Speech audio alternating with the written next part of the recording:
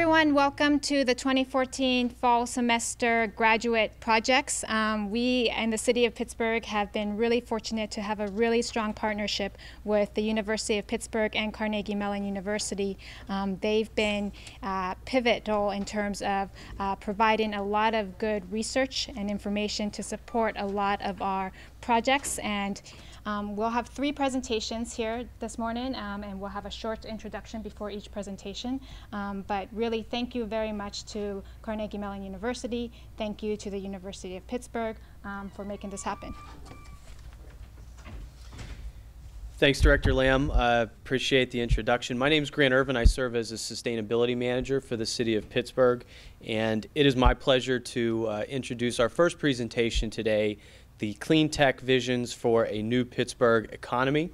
This team was led by Dr. Silvia Borzutzky from Carnegie Mellon University and the Heinz School.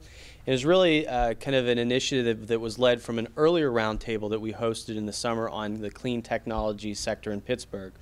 What the students have done for us is really set forth a foundation with regards to uh, a, a, new and emerging sector in Pittsburgh with regards to technologies that are cleaning and improving our environment everything from the building sector, building improvement, uh, excuse me, building performance, clean energy, as well as software technologies that are being advanced right here in the city of Pittsburgh. So we're really excited uh, today to hear from the team, which is going to be led by Kenny Barry and Molly Brennan. So Kenny and Molly, if you want to join us up here and uh, kick off the presentations. Thank you.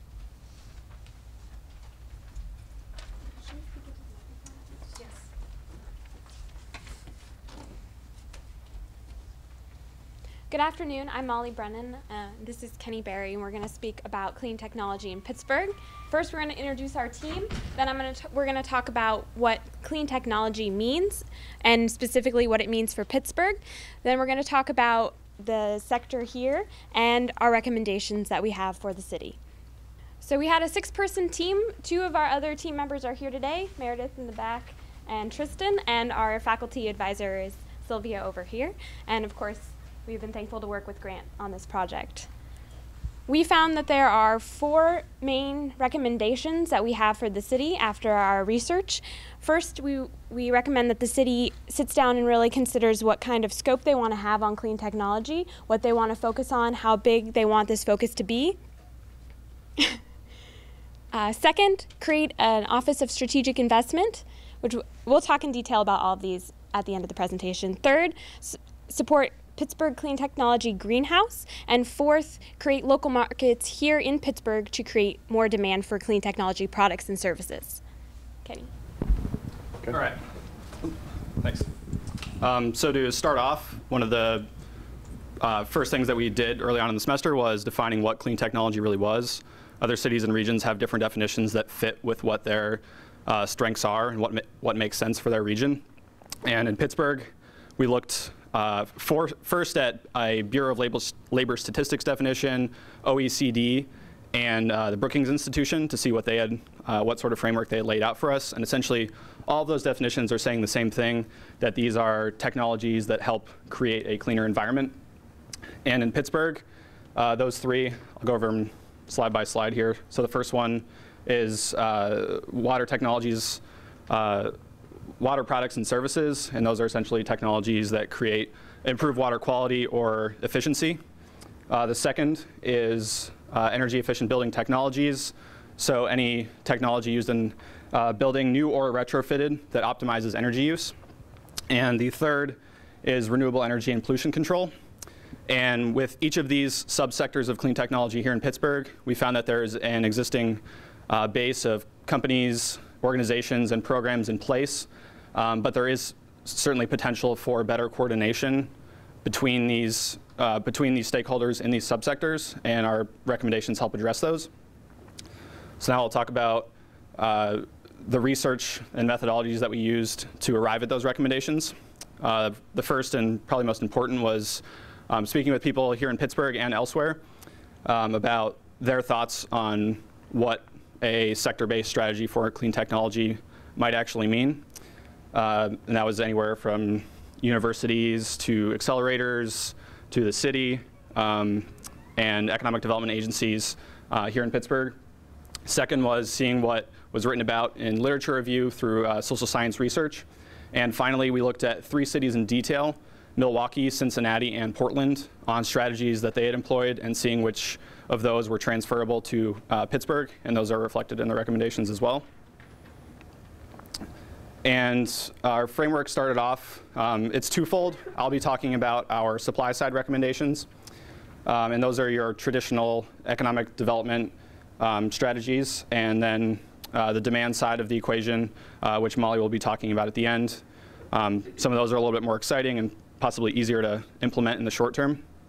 And on the top, the traditional economic development ones again, um, firm attraction, expansion, and um, creation, how can, what is the role of public policy in incentivizing these?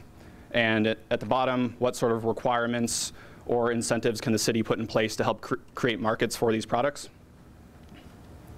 So our first recommendation is, uh, again, Molly mentioned, to refine a cluster-based strategy. And the first component of this is to not select subsectors, but to see where industry in interest lies on this and which voices in industry are most interested um, in being better coordinated through these uh, later recommendations. Um, and we found with Milwaukee and Cincinnati, uh, two of our case study cities, that they had really drilled down on water technologies and focusing on a single specific subsector uh, that leveraged their existing regional comparative advantages. Um, the second part of it is to take a regional perspective. Uh, none of the cities that we looked at were successful unilater unilaterally in implementing their uh, initiatives. Um, in nearly all cases, they're either working with county or regional stakeholders, um, and in many cases had federal partners that were assisting in the implementation of this. And third is to leverage ongoing initiatives and um, what the other priorities are for the city and how those can be paired with a sector-based economic development strategy. Um, and an important component of this is educating municipal employees on what it is that you're working on and uh, to look at what other cities have done in equivalent departments um, as part of these initiatives.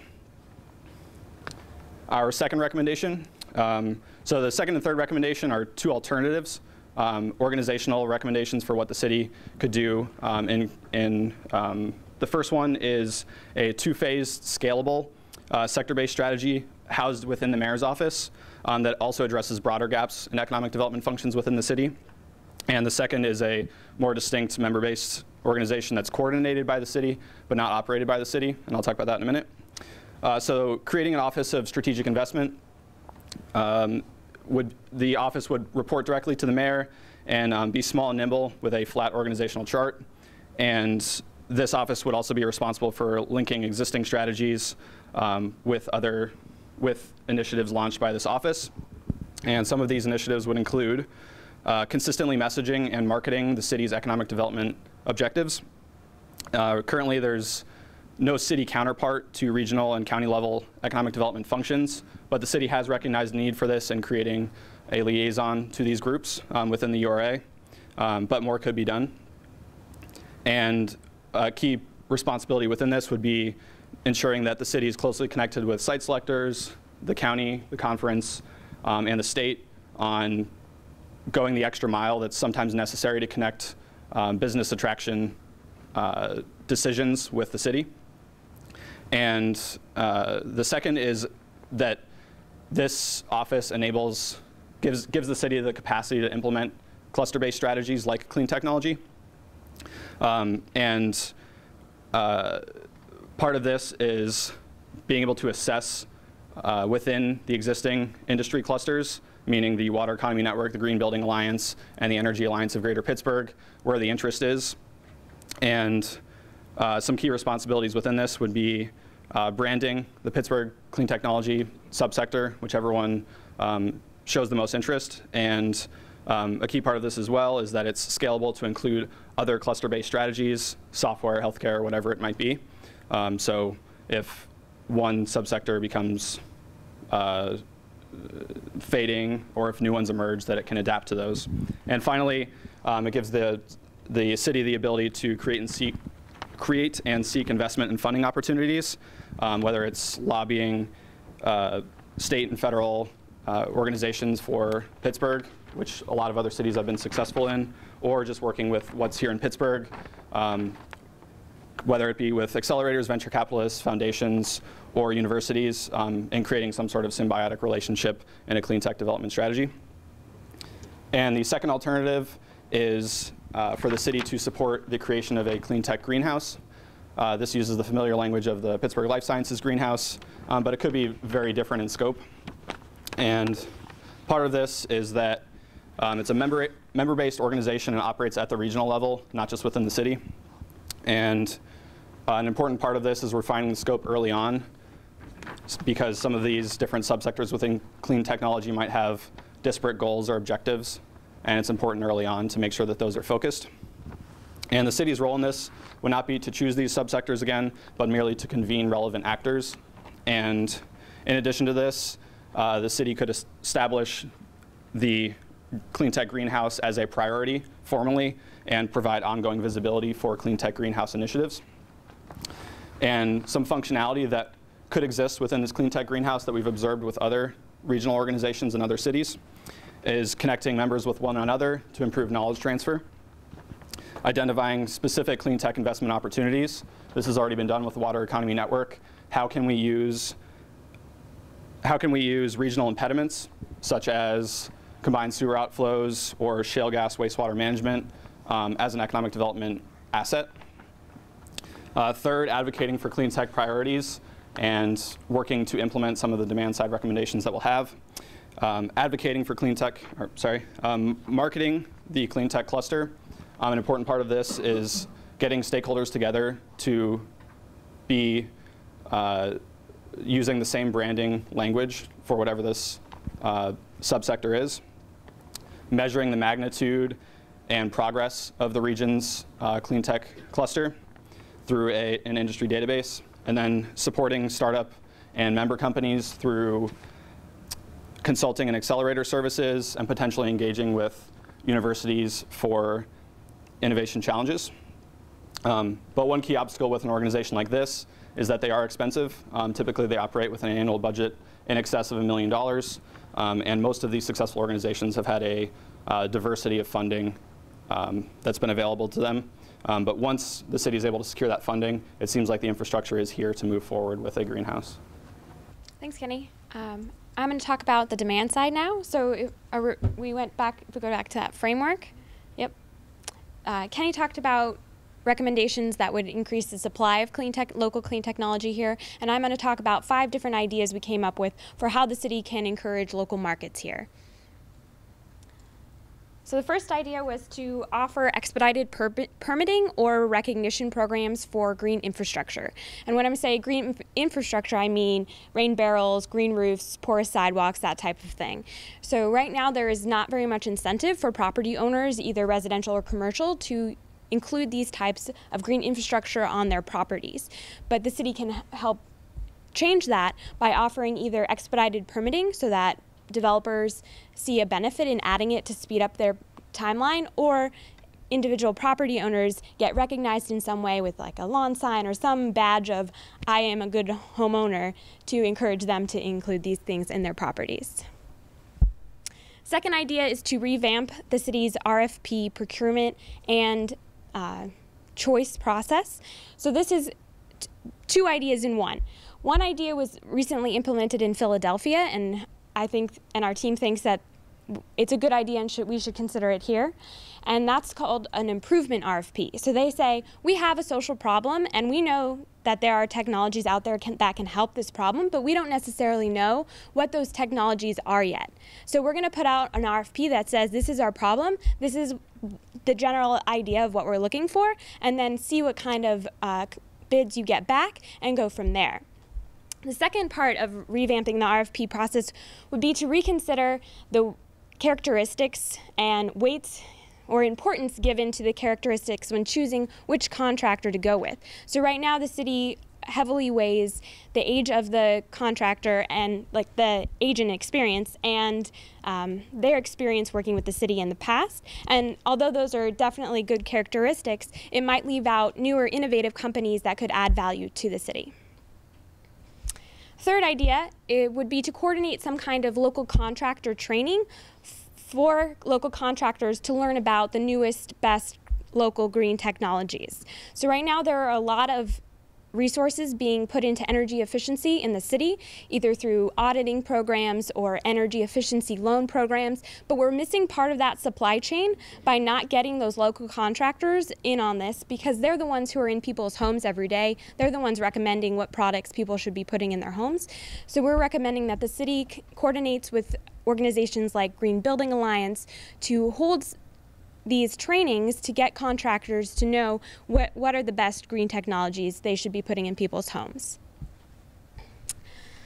Fourth idea would be to develop green infrastructure guidelines within the new Department of Permitting, Licensing, and Inspections. So right now, this, this kind of goes back to the first one I talked about, but right now the timeline for green infrastructure and development is pretty long because there is not a coherent guideline for how to permit bioswales, porous sidewalks, that types of thing. So we think the city should, could work with industry experts on creating a permitting process so that when a developer wants to include green infrastructure in, in their projects, they know that it's not going to increase their timeline to development. And last, we think the city should require utilities to share aggregate neighborhood level data on water consumption and energy consumption on a regular basis.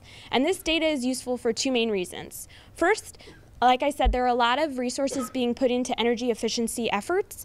And if we know where people are using the most energy and the most water, those resources can be very targeted and um, have the most bang for the buck. And then second, that data is really important because we could create a neighborhood competition. So Pittsburgh has really strong neighborhoods, and we could use that to our advantage by having a neighborhood competition of who is the most energy efficient, who who uses um, who is the most water efficient, and we could even use our uh, city council members to cheerlead for their district being the most energy efficient, or any any of us. So I, I, gave you quickly, very, very quickly, five demand side strategies. Um, but overall, our recommendations are to for the city to be introspective and say how much effort do we want to put into focusing on clean technology? How much resources do we have for this right now? Create an internal office of strategic investment or support a, a separate industry membership organization, the Pittsburgh Clean Technology Greenhouse, and then also, in addition, use some of these demand side ideas to create local markets here. Thank you.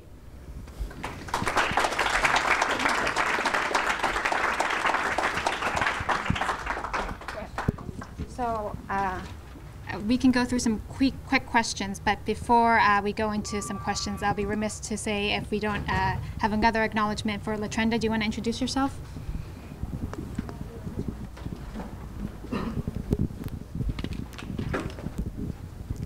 Hi, I'm Latrenda Leonard, the Deputy Chief of Operations and Administration here in the city. Um, just want to let you know that I'm a resource for you. Anything you need, um, contact city. I have some cards here. Um, our Deputy Director and Director of Public Works are also here. Um, we're very supportive of your work, so let me know if you need anything. And I have some cards I'll leave with Tara or Deborah. Thank you. So are there any uh, questions before any any questions um, for this group? Who can the group stand up? Actually, who's the group here? Everyone, and just a round of applause. Right there, right there, right there.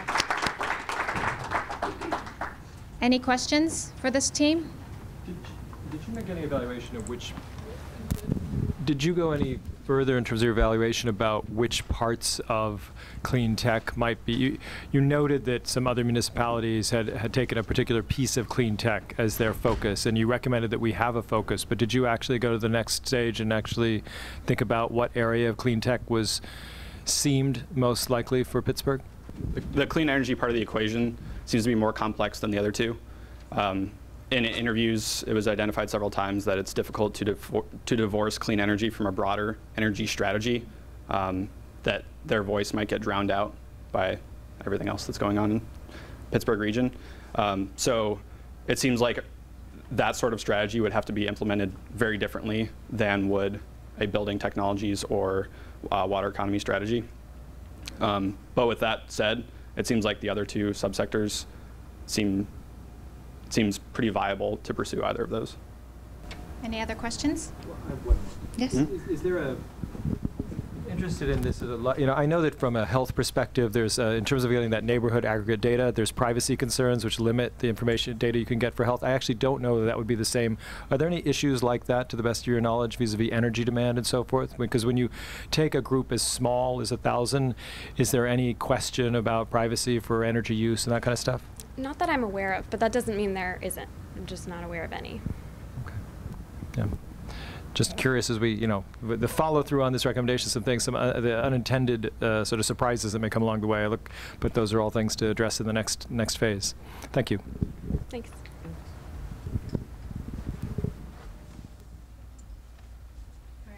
Thank you.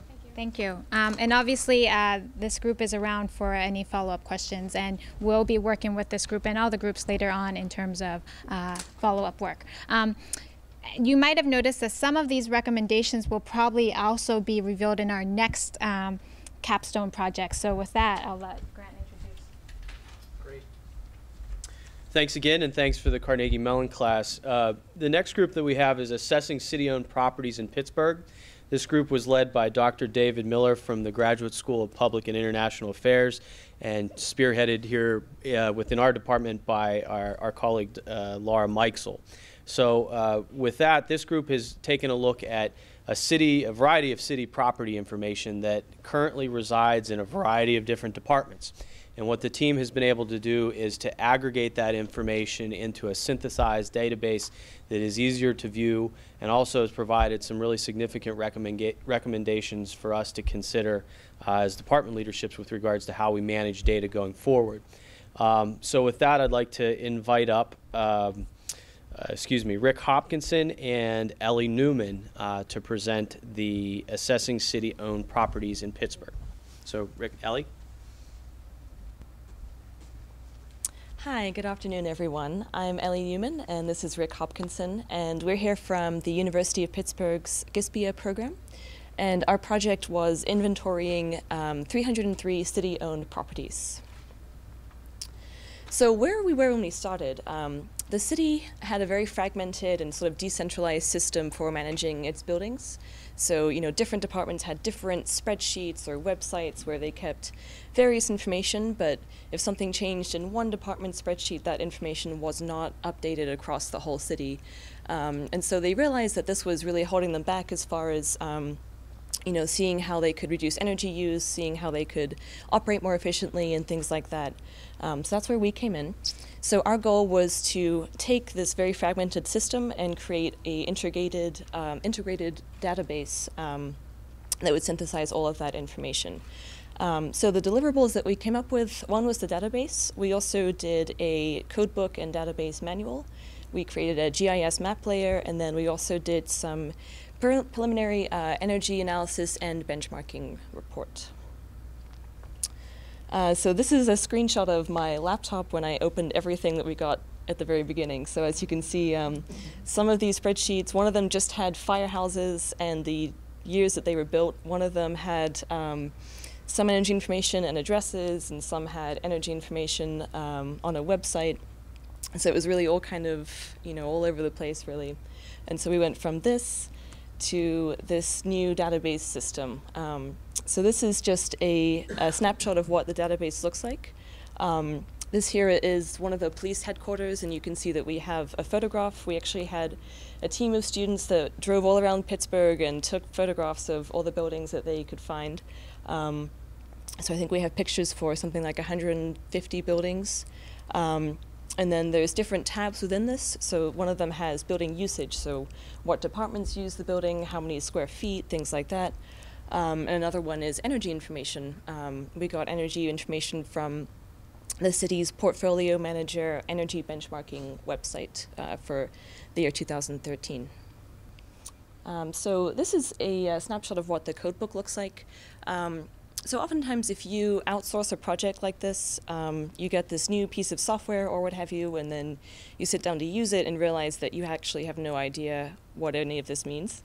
And so we didn't want that to happen. Um, we created a code book that goes variable by variable and explains how we got the data, where it came from, any flaws or any problems with collecting the information.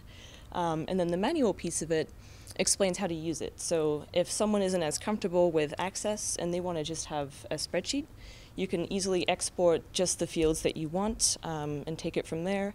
If you decide you want to add more fields or things like that, the manual explains exactly how to do that. With the energy data that um, the city has through Portfolio Manager, which is a way to record um, their their energy usage through their energy bills, they create what they call um, energy usage intensity, and that is normalized by the square footage of the building, so it makes it comparable. And this is just a shot of the different um, energy usage intensities of the different buildings in, in the city of Pittsburgh. And then we also created a GIS map that um, sort of plots um, the highest and lowest um, energy efficient buildings in the city. So notice up here the Medic 10, that's pretty high. I think we put um, the top five, the top five biggest energy consumers. We actually labeled on the map Oliver Bathhouse, um, Schenley Park, skating rink. Um, go ahead. And like Ellie alluded to, um, most of our time spent with this project was really um, creating this database um, and, and, creating three unique identifiers that the departments can use to um, search for buildings and compare across departments. So you have the building code, you have the parcel ID number, and the lot and block number. Um, but we also wanted to provide the city with some recommendations on what they can do to move forward to, um, you know, in, increase um, their energy efficiency. So that's where sort of some of the benchmarking came in. So we looked at some different cities across the United States who have already passed um, energy benchmarking disclosure ordinances, and we also looked at a couple international cities.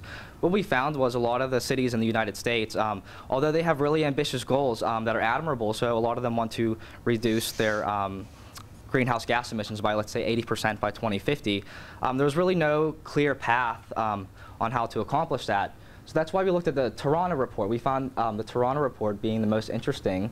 Um, they, they, created in 2014, and that actually um, they use what they term performance-based conservation. So what they do is they divide all their different publicly owned buildings by type. So so they classify them. So like you see right here, these are um, all the pools and pool buildings. Um, this is for the city of Pittsburgh, and why they create these use classi classifications because some of these buildings, I mean, they're inherently different, right? You know, the pools aren't going to um, use the same amount of, or have the same type of use as, let's say, fire halls or even an administration building.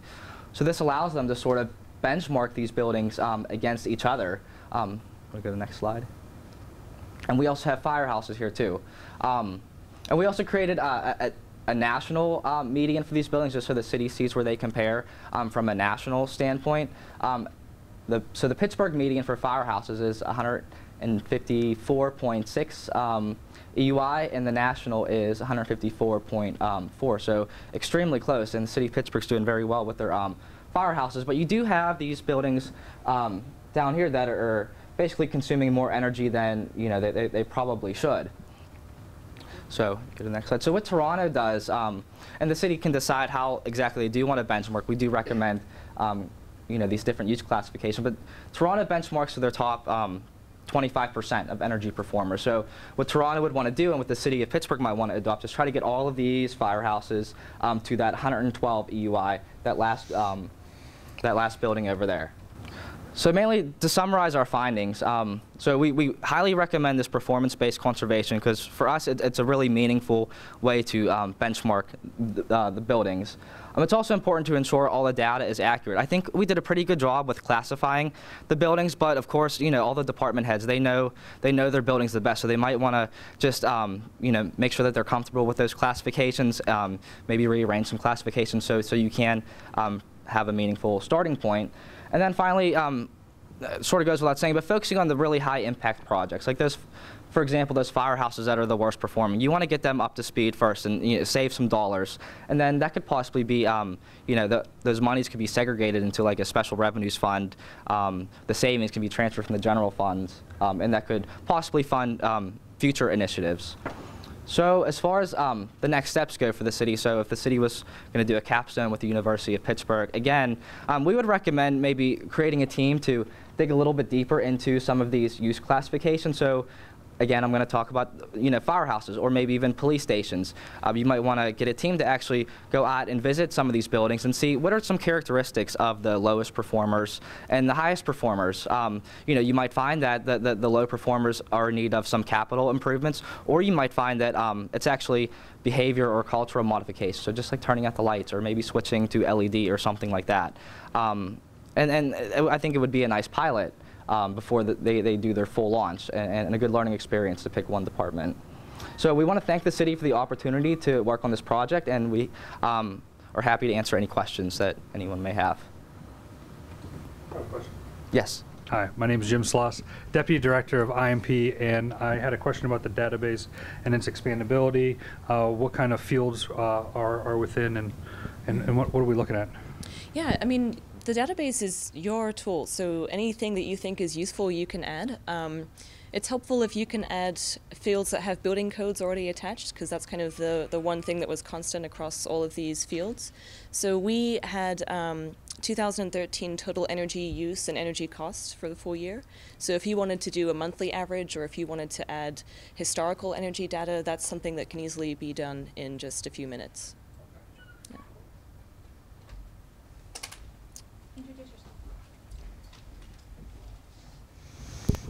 Hi, I'm Kaz Pellegrini, Project Manager um, of the Architecture Division in Public Works. I just want to compliment you guys on your project because of uh, what I saw several weeks ago. I was really nervous about what you might come up with because I thought I was going to get plastered with lots and lots of data, but you did an excellent job in making it visual too. And it makes a really um, easy job of my group pinpointing and Henry Cafardi's group, the facilities division, pinpoint those buildings we need to attack in a glance for next year's uh, budget and subsequent years. So great job. Thank you. Thank and I hope we can get a disc of that as well. Yeah, absolutely. Thank you. Any other questions? So with that, we'll go to our final presentation. I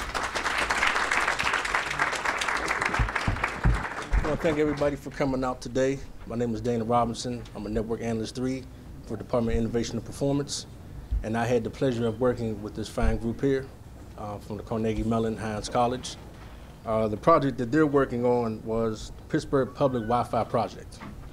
Um, what that project did was explore the feasibility of having free citywide Wi-Fi for the different neighborhoods within the city. Um, we have today, uh, who spearheaded it was Professor Zakir Ussel, sitting right there. Um, we have Lindsay Parham, we have Terry Gibbs, and we have uh, Kati Nalabolu.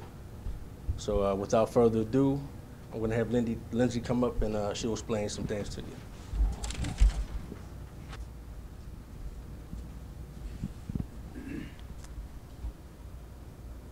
Thank you so much for, for coming to view our project on the hybrid Wi-Fi framework.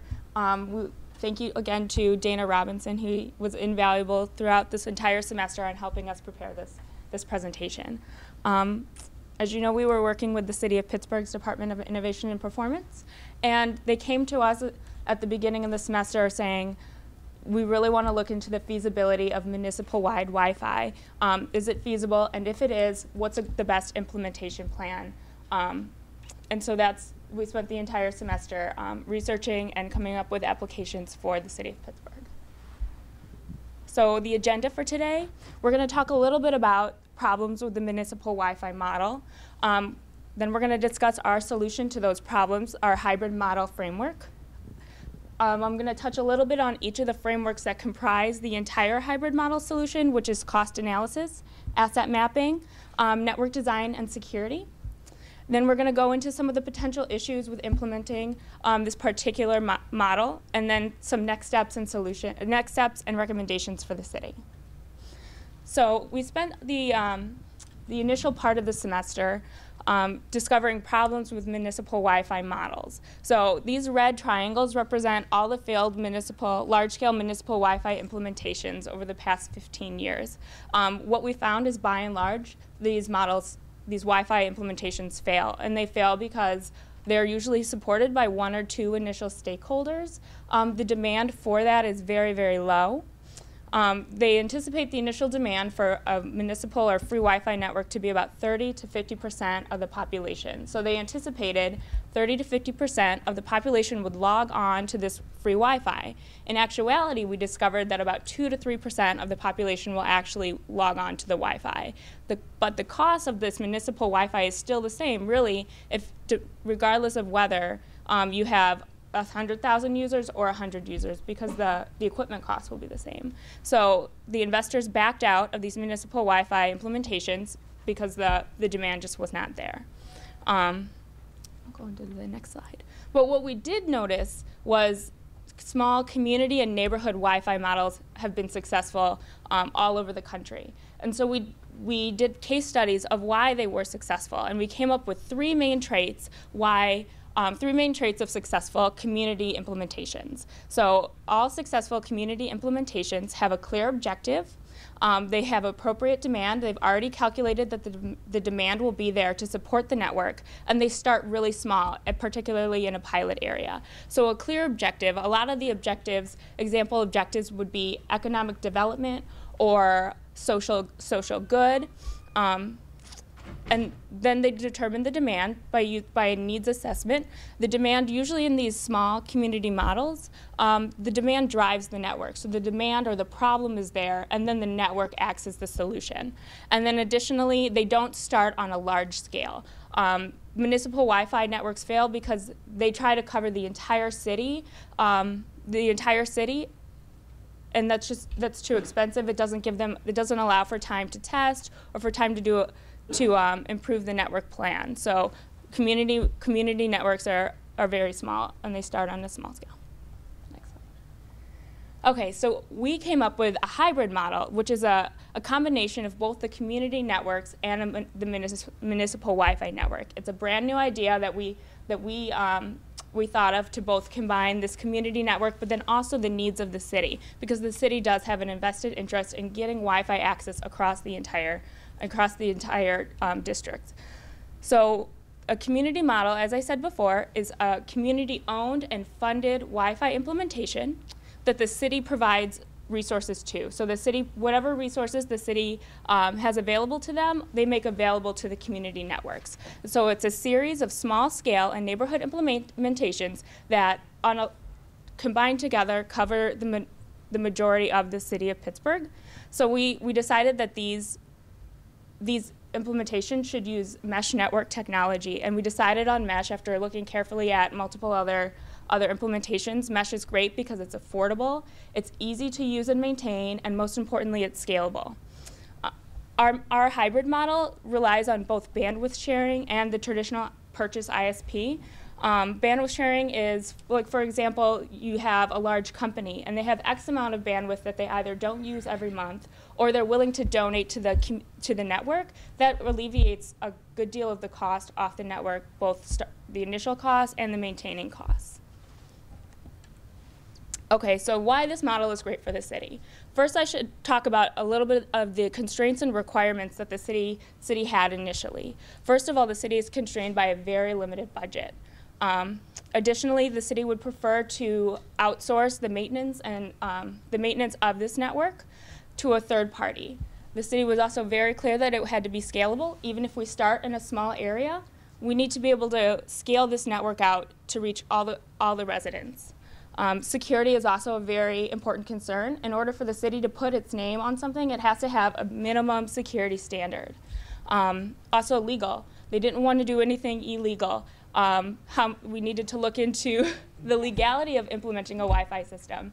And, and it's funny to think about, but actually a good portion of our present of our our um, of our research was focused on this this particular law that that was unclear whether or not the city was even legally allowed to open up a municipal Wi-Fi um, implementation. Um, a lot of other cities get sued and they invest tens of millions of dollars into a network just to have incumbent ISP providers um, take them to court. So it was a, a huge consideration.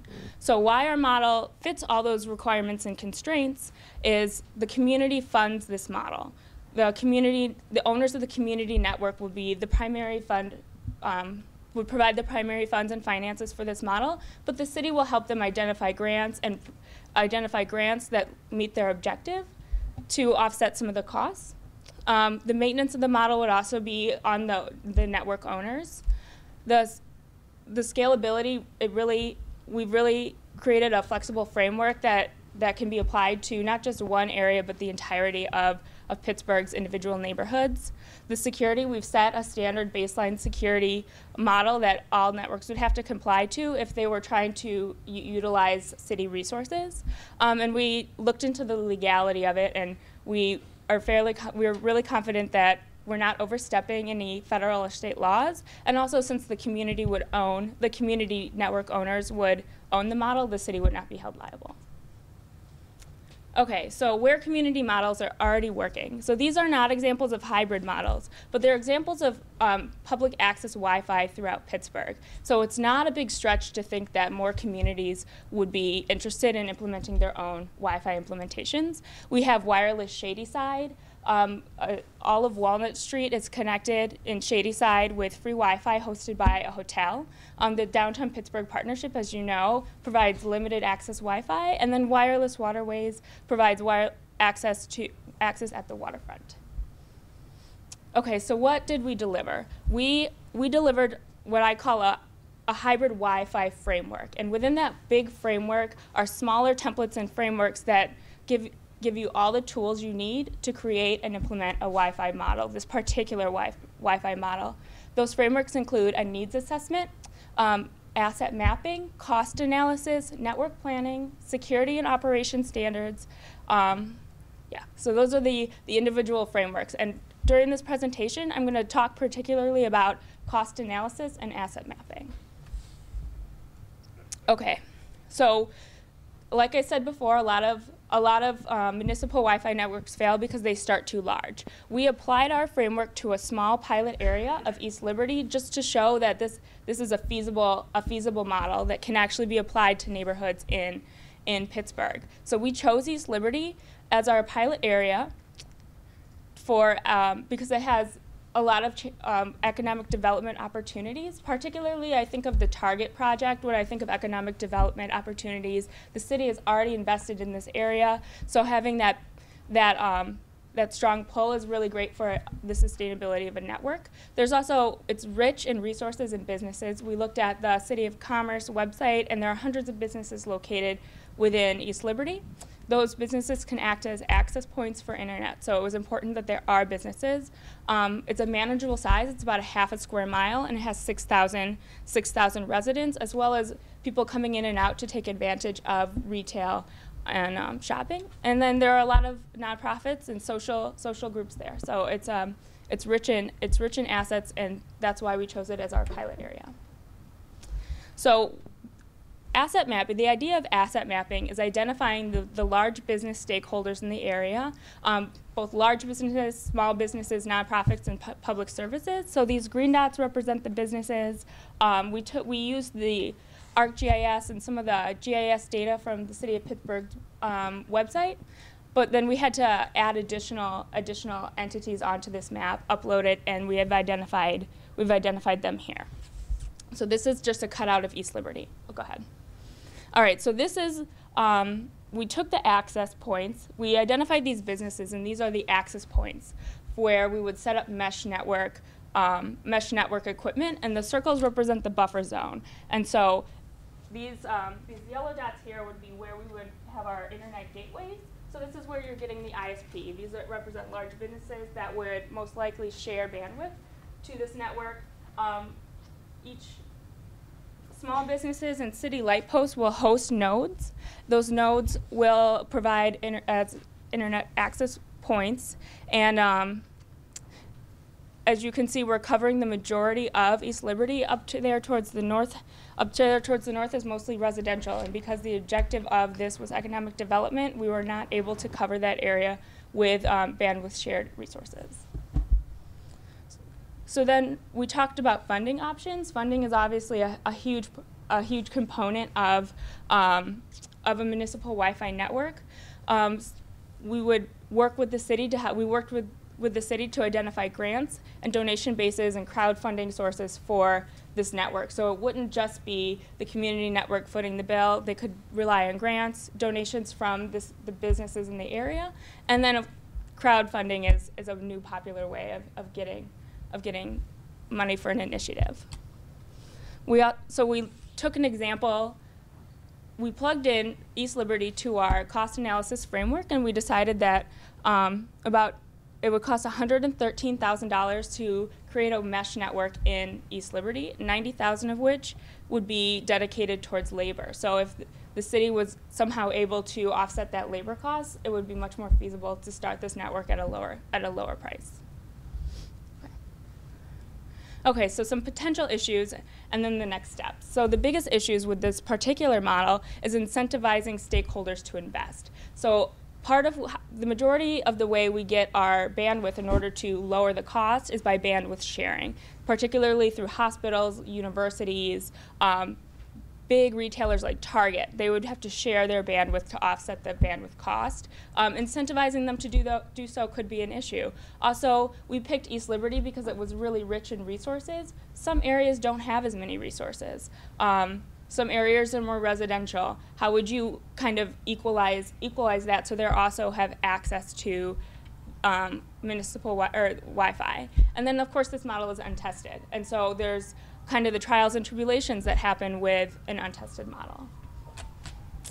So the city of Pittsburgh's role, I talked about a little bit about what the city of Pittsburgh could do throughout this throughout this initiative, but most of but most importantly, I think they need to act as a congregation point for information. There are so many rich resources out there on the web that aren't that could help um, each of these networks really lay out a framework for how, how they can implement and at what cost and what's worked and what hasn't worked, but it's not together in one point.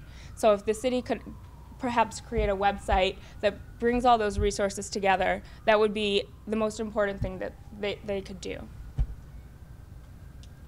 As I said before, next steps, create a website, and then we've also, we've also done all the legwork for creating a, a, municipal Wi-Fi implementation in East Liberty, the next step would be to actually create it by reaching out to stakeholders and gauging their interest and getting them involved. Um, I want to thank everyone. I would like to thank everyone for um, listening to our presentation, and again, thank you, Dana and Deborah, for all your help this semester.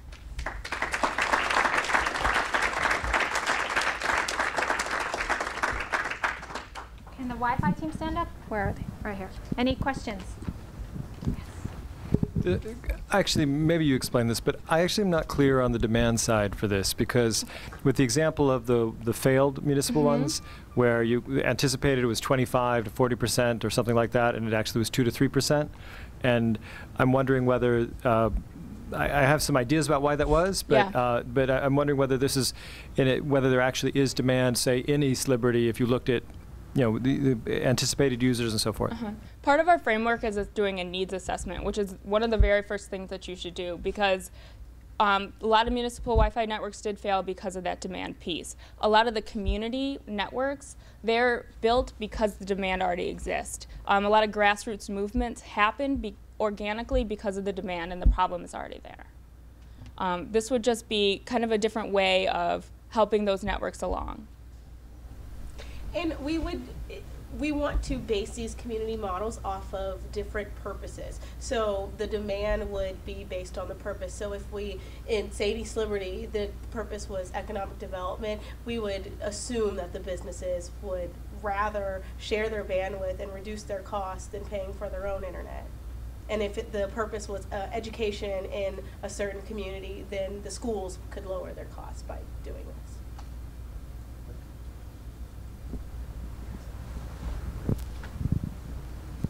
I like your approach, and uh, I think it has, has great merit. Have you ever thought about kind of switching the model from areas that have a relatively high demand, mm -hmm. um, like you know, areas that are developing economically, like East Liberty, for example, um, where users there may already be a high demand, relatively high demand.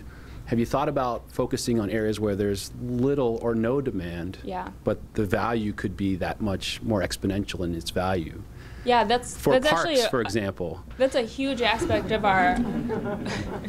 or for new communities like, uh, or new old communities, like a community like Larimer, for example, that's adjacent Yeah. to East Liberty, where you used to have 16,000 families there. Now you have 1,600, maybe. Mm-hmm. Um, but the community is coming back and developing. Wouldn't it be a, a wonderful kind of driver uh, and an, an amenity to have uh, Wi-Fi for the community even before it's kind of fully formed?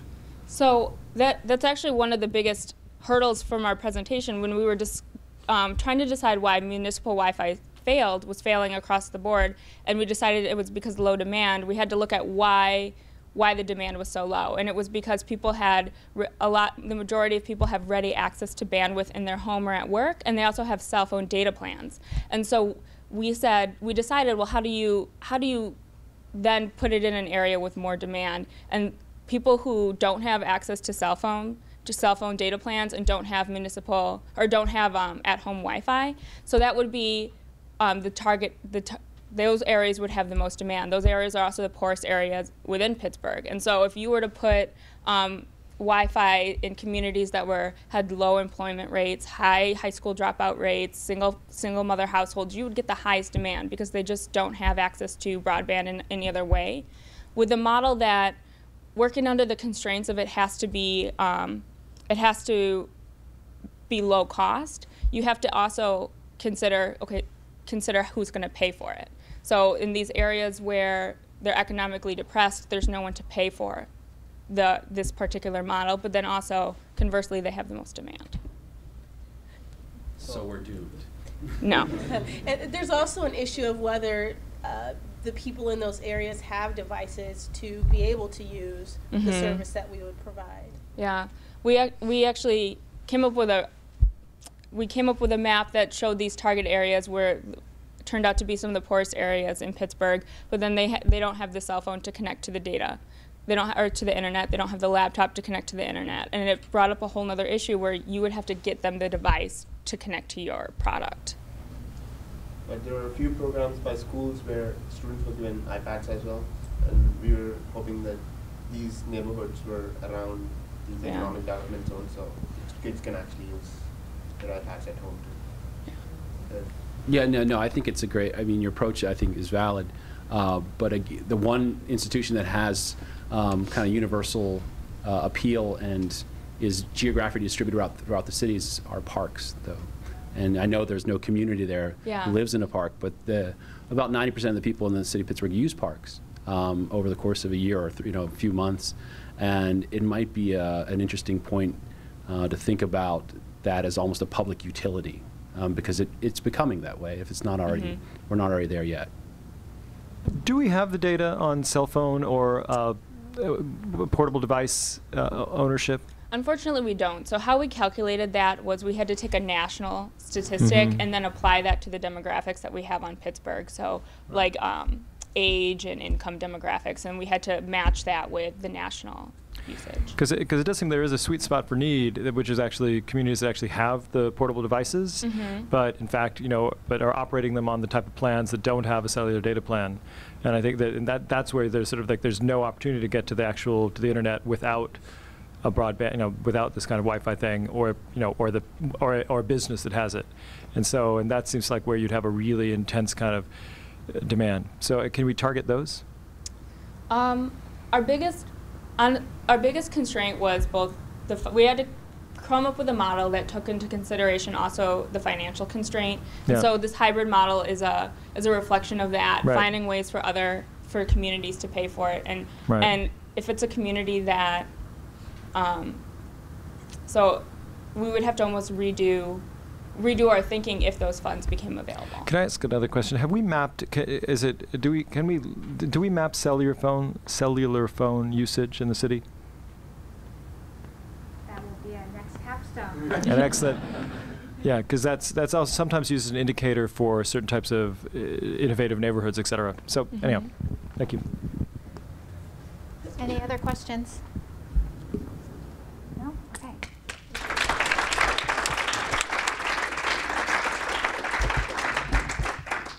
So you can see we, we were able to sponsor a pretty diverse set of capstone systems projects and, and obviously behind each of these students projects is a really strong faculty sponsor, uh, faculty administrator. So I'll be remiss without thanking them. So will you all stand up, please? and allow us to thank you, Dr. Miller, Dr. Thang, everyone. And obviously, uh, again, a really strong partnership with Carnegie Mellon University, Rick and Paul and Canoe. Please, thank you so much. Please stand up.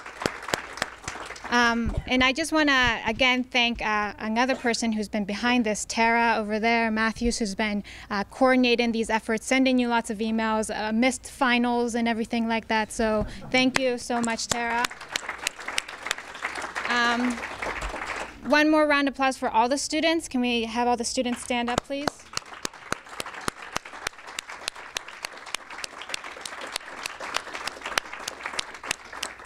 Um, this is this is really important work. I think I spoke to all of you and said, you know, the work that you are doing in terms of research has real world implications to what we're seeing in the city, um, from public works to city planning to city parks um, to innovation and performance. Um, very valuable thinking, and, and you can see from each of the directors' questions, they're really thinking about how it, to apply it in terms of their practice and policies.